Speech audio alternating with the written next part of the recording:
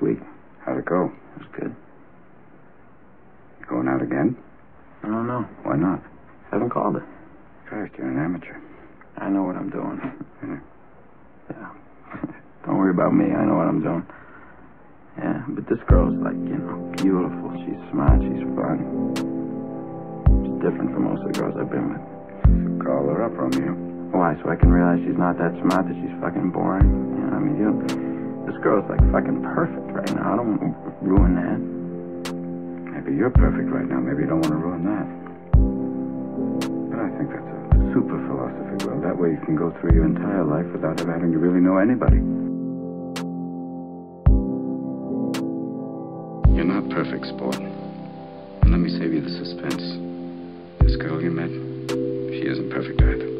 But the question is whether or not you're perfect for each other. The whole deal. That's what intimacy is all about.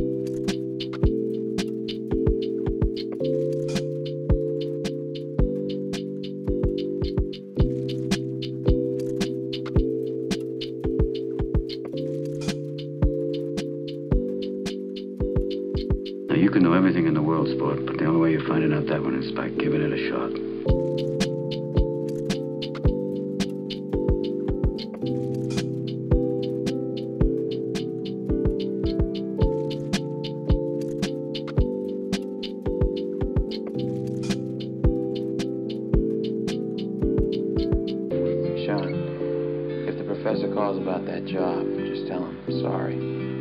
I had to go see about a girl. Well.